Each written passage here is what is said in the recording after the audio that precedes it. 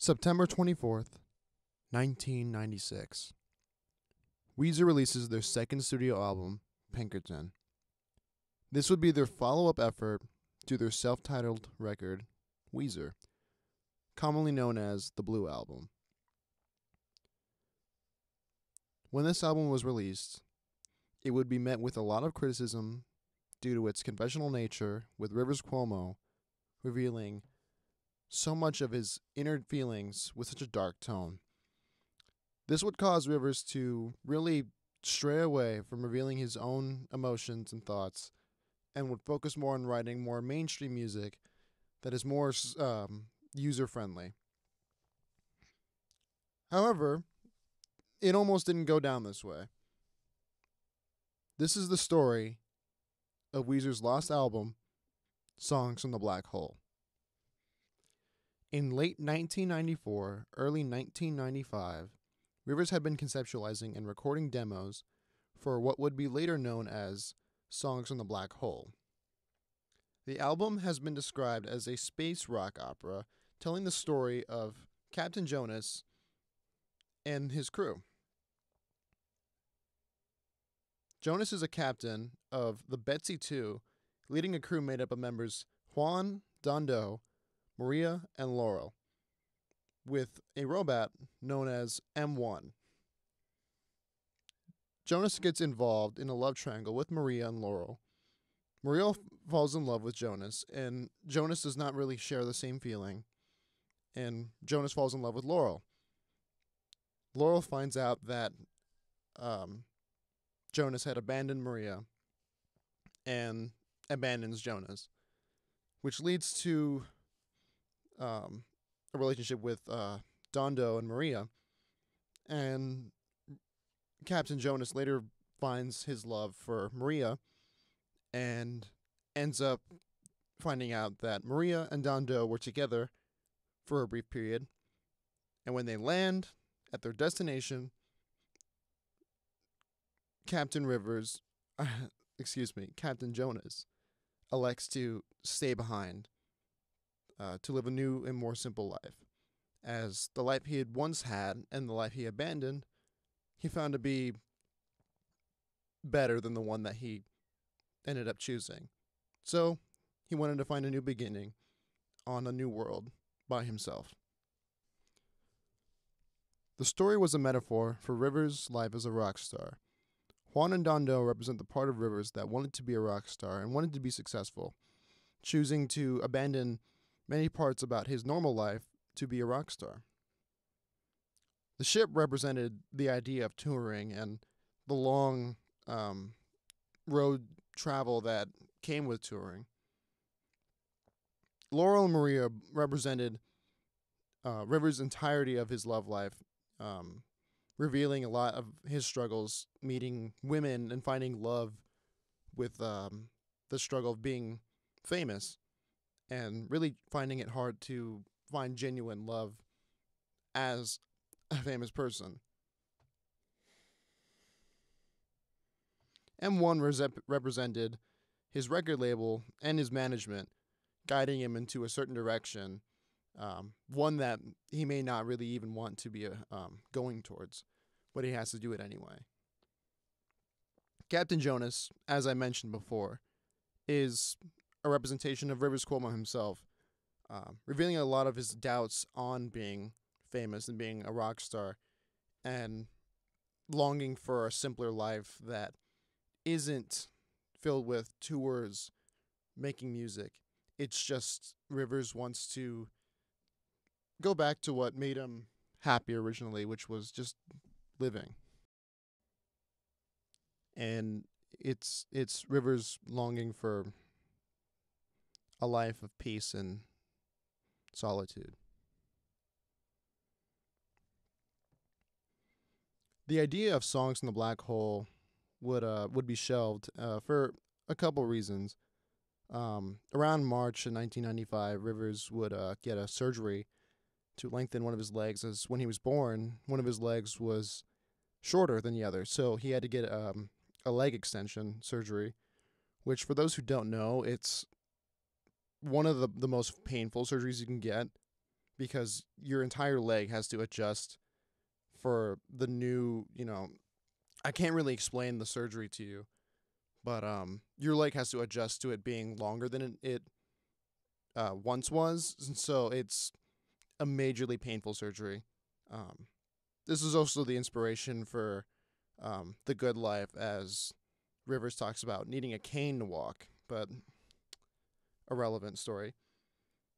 Um, but anyway, Rivers needed surgery, and around this time, uh, during the therapy that he needed afterwards, um, he felt that the, the the concept of songs in the black hole was a little bit more whimsical and not really uh, what he was feeling at the time.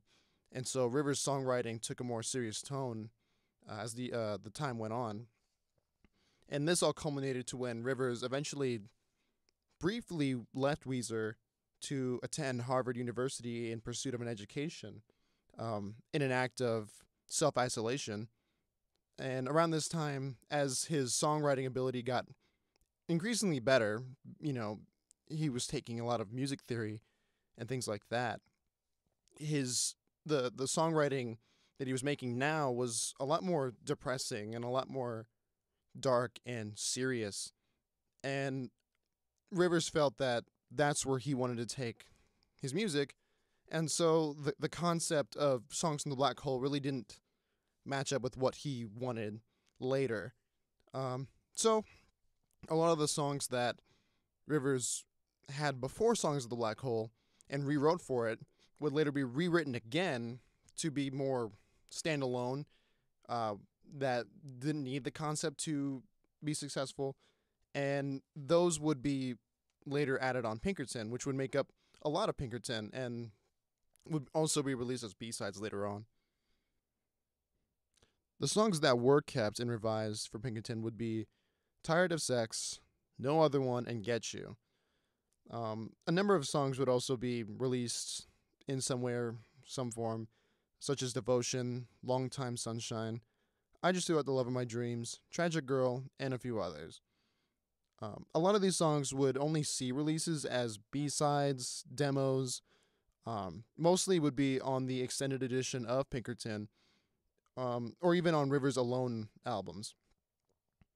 Um, Long Time Sunshine and I Just Threw Out the Love of My Dreams would um, later on be performed on stage. But as far as that goes, that these are the only few times that this in, entire album has ever been publicly acknowledged by Rivers, other than like the the Pinkerton Diaries and other things like that. You know, there's there's evidence that this album was a thing, and there's actually a lot of documentation about this album. But Rivers Rivers and Weezer as a whole don't really acknowledge it much, even to this day. Like Pinkerton, this album would grow a cult following and would be praised by many fans of Weezer. Um, I know personally, uh, having just listened to it, uh, I listened to it a couple times, but I listened to it before recording this. It's it's an exercise of Rivers' songwriting ability. Like, I I can't describe it to you. It's some. I think everyone should have to listen to this album because, at least listen to it after Pinkerton because it's it's almost it's it's so different, but it's also so in theme with Pinkerton, and the songs that made it onto Pinkerton really help guide this album through and It it makes for a really amazing and emotional journey. Um, the story of Jonas and Maria and their love uh, their love affairs are really really captivating, and I find the story super interesting. Uh, I I'm not a big fan of concept albums. I think that concept albums can be the easily most done wrong thing in music. But Songs in the Black Hole is is absolutely a masterpiece.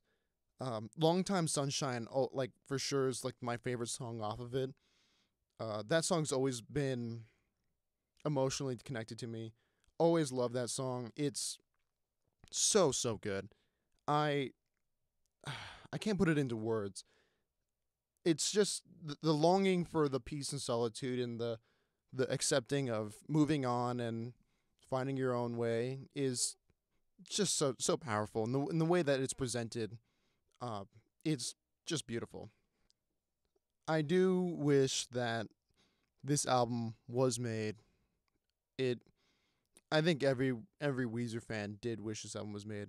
Um I think either way though, because of the material that we do have of songs in the black hole, I think that it's actually okay because we we we have all of Pinkerton, and in a weird way, we also still have all of songs of the black hole, even though technically the album doesn't exist. We do have the entirety of the album, at least what we do believe is the entirety of the album, um, at least what they recorded. So um, I, I will put a link in the uh, description of the the version I the track list I listened to. There's a lot of different versions of the track list. Um, the version I listen to, I feel like, is the definitive one. I think that tells the story the best and makes the most sense. So um, I'll do that. But um, I do think it's really cool that we do get to enjoy both Pinkerton and Songs in the Black Hole. This was a shorter one, but um, I want to say thank you all for watching. We've been I've been seeing a boost in subscriber rates recently, um, which obviously for my channel isn't like crazy. We're only like we're at, we're at like 213, which last week it was like 150, so that's pretty huge. Um, I I'm seeing an influx of views. It's really cool. Um, I I'm I'm really excited to keep releasing content. Um, I hope that as as I keep releasing more, that the fan interactions I get to have on in the comments um, increase, and I hope that more ideas come through because I, I want to do content you want to see, and because I, I well I feel like a lot of the content I share is stuff I'm passionate about. I I hope that that inspires you to to share with me what you want to see because at the end of the day I'm I'm there to just entertain anyone who wants to give me the light of day. So yeah, please let me know in the comments if there's any content you would like to see. But otherwise, that's all from me. Thank you so much for watching and uh, have a great day.